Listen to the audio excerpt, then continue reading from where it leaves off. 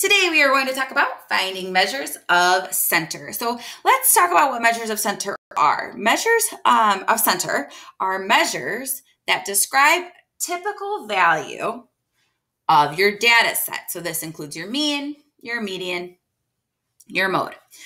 So your median is the middle of your data set, and this will always be written as one number. So you find that exact middle. Sometimes you will have one number in the middle, and that is your median. Sometimes you have two numbers in the middle, so you find the mean of those uh, two numbers to get your median. When you are writing a median, it should always be one number. Your mode. Your mode is the value or values that occur most often. You could have one mode, you could have more than one mode, or you could have no mode.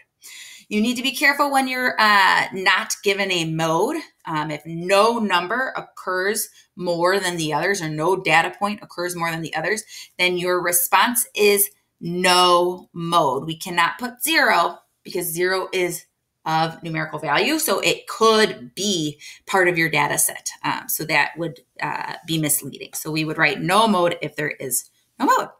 All right, let's go ahead and dive into our median and mode. When I am finding my median and mode, I want to make sure that I always organize my data from least to greatest to help me get started. Okay, so let's do that here. We've got a set of bowling scores, and I need to order those from least to greatest. So here, my lowest score is 90. Sometimes it helps to cross them off as I go. 90, 105, 120, 125, 135, 145, 160, 160, 175, and 205. Like I said, you can cross these off as you go to help yourself track. All right, so right here, I've got my data organized. It is so important to have your data organized so you can more clearly see the numbers you're working with. For the median, we need to have our, our data in order so that we can find that middle. Going through here and finding the middle is not going to work. These numbers are not in order. Okay, so once I have my data in order, I can go ahead and start crossing them off. I want to cross off one on either side um, so that I can get to that middle. Now, some people like to cross off, others like to use fingers um, and work your way in. Whatever works best for you, I enjoy crossing off. Just lightly, I will say that. I just cross off just a little slash um, so that I can still read the number and continue working with it.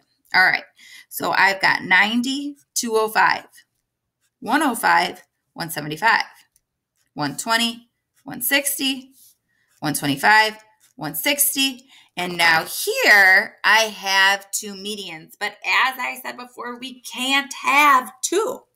So what I do is I go ahead and add those together, get the sum, find the mean. 135 plus 145 divided by 2. Again, I can grab my calculator to figure this out or do it on pencil and paper. And I've got a median of 140. Okay, so my median here is the mean of 135 and 145, or you could say the middle point between those two. Um, this one is a little bit easier. Sometimes they get a little messy, so do know that you can use that mean formula. Uh, the middle of my data set is 140. Now, the next part, I go to my mode and I need to figure out which data point, if any, occurs more frequently. Here, I can see that the only duplicates are 160. 160 occurs two times. That's more than any other data point here, making my mode 160. So to recap, your median is the middle. I organize my data and find that middle point. If there's two, I find the mean of those two middles because the median may only have one number.